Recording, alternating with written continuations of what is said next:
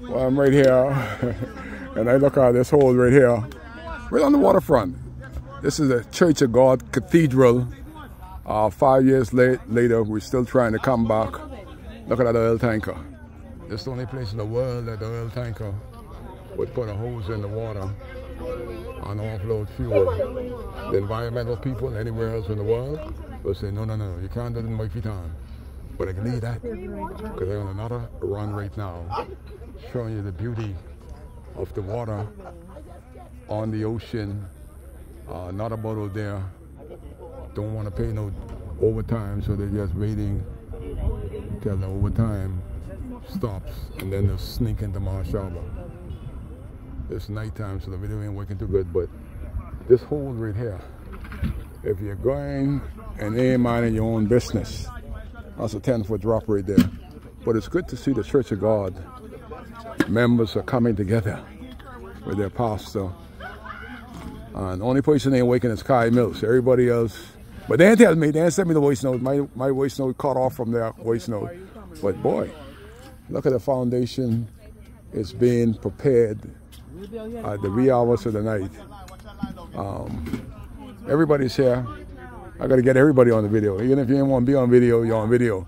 Um, the ladies look different from when they're in church with all the lipstick and rouge on. Um, everybody is to the natural look now. Um, hallelujah for that because I remember those days when you couldn't wear lipstick in the Church of God. So things has changed. But nonetheless, uh, old William there, my brother there. Boy, this is a good congregation right here. I wish we had more church people like this that could come together, not only for worship, but also to get to a point that you could be more comfortable after Hurricane Dorian. This is Hurricane Dorian has left us to five years later. The church men are here working at the setting of the sun. Wow, even the women there. But this hold right here, if you're on, if you're not on holy ground and you fall in this, dog will eat your supper. That's late evening here at the Church of God in Dundas Town. My church. I ain't being all about it. I'm still the Church of God man, from I could remember. But this is late evening, and uh, I'm not old, usually old this late. But this is Marsh Harbor Harbor. If I try to zoom in, I haven't used the camera at night. I'm afraid of the nights in Abaco. But this is a good look.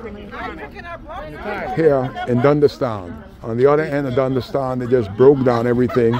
And on this end, they're building up. Praise be to God. Hallelujah, hallelujah. He gonna receive.